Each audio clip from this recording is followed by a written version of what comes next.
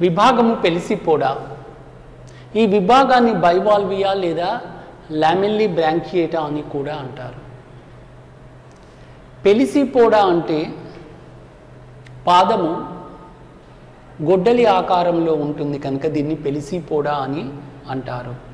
వీటి లోపల రెండు కర్పరాలు ఉంటాయి.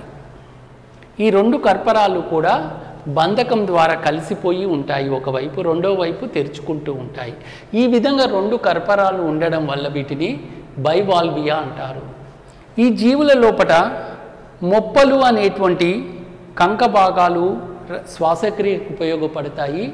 ఇవి ఉండడం వల్ల దీన్ని లామిల్లీ బ్రాంకియేటా అని కూడా పిలుస్తారు. ఈ విధంగా ఈ విభాగానికి అనేక పేర్లతో పిలవడం జరుగుతుంది. వీటి యొక్క ముఖ్య లక్షణాలను మనం పరిశీలించినట్లయితే వీటి యొక్క దేహము ఇరు పార్శ్వాల లోపట అణచబడి ఉంటుంది. కర్పరము రెండు కవాటాలను కలిగి ఉంటుంది. ఇంతకుముందే మనం చెప్పినట్టుగా వీటిని బైవాల్వియా అని అన్నాము. అయితే వీటి లోపల తల స్పష్టమైనటువంటి తల ఉండదు. మరియు తలలో ఉండేటువంటి జ్ఞాన అవయవాలు కూడా బాగా క్షీణించిపోయి ఉంటాయి. పాదము పాదము గొడ్డలి ఆకారం లోపట ఉంటుంది. దీని సహాయంతో ఇది చలనము లేదా గమనము జరుపుతుంది. ఈ ఆకారం కలిగి ఉండడం వల్లనే ఈ విభాగానికి పెలిసిపోడా అనేటువంటి పేరు ఇవ్వడం జరిగింది. రాడ్యులా సాధారణంగా మొలాస్కా వర్గానికి చెందినటువంటి జీవుల లోపల ఆస్యకూరం లోపల ర్యాడ్యులా అనేటువంటి నిర్మాణము లేదా ర్యాస్పింగ్ ఆర్గాన్ లేదా నికషణ నిర్మాణం ఉంటుంది. దీని ద్వారా ఆహార పదార్థాలు ముక్కలు గావించబడతాయి. కానీ పెలిసిపోడా జీవుల లోపల రాడ్యులా అనేటువంటిది ఉండదు.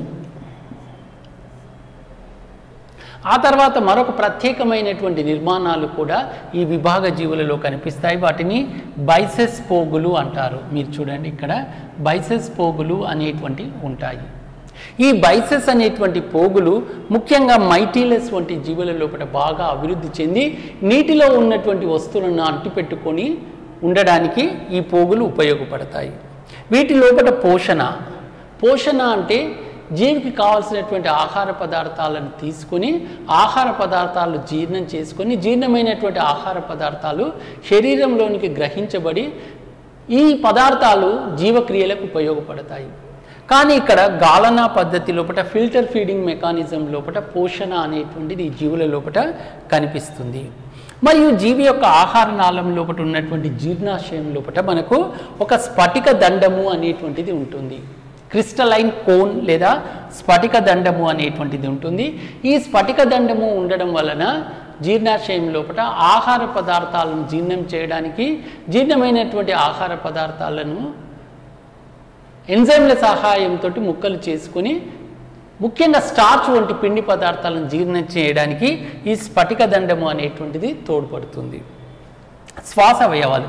ఇవి కూడా ఎక్కువగా నీటి లోపల మంచినీటిలో కావచ్చు లేదా సముద్రపు నీటిలో జీవిస్తాయి కనుక వీటి లోపల కూడా మొప్పలు గిల్స్ లేదా కంక భాగాలు అనేటువంటి ఇనీడియా అనే నిర్మాణాలు ఉంటాయి. వీటి సహాయంతో శ్వాసక్రియ అనేటువంటిది జరుగుతుంది. ఇవి ఏకలైంగిక జీవులు. Dioecious animals. స్త్రీ జీవులు మరియు పురుష జీవులు వేరువేరుగా ఉంటాయి.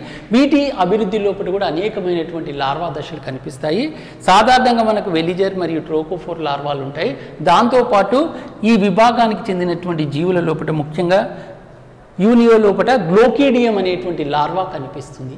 ఈ గ్లోకీడియం అనేటువంటి లార్వా నీటిలో ఉన్నటువంటి చేపల మీద బాహ్య పరాణ జీవనము జరుపుతుంది.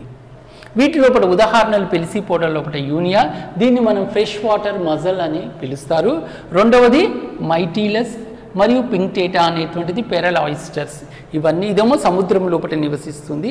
ఈ పింక్టేటా అనేటువంటిది ముత్యాలు ఏర్పరచడానికి పెరల్ ఆయిస్టర్స్గా పనిచేస్తాయి.